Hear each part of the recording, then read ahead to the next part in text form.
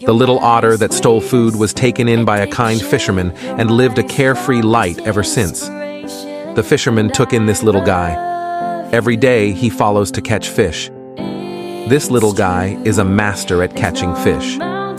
He must really like this kind of fish. The efficiency of catching fish is really fast. Today's harvest is really full. He also knows to wipe the water off his body and then help to gather dry firewood. Start a fire and cook reward with a small fish dot, simply cannot eat anymore. Every day there is an endless supply of food. Gradually, he became a big fat guy. When it's full, it just wants to sleep, scratching an itch on the buttocks. Don't disturb my sleep. Its round belly is really cute.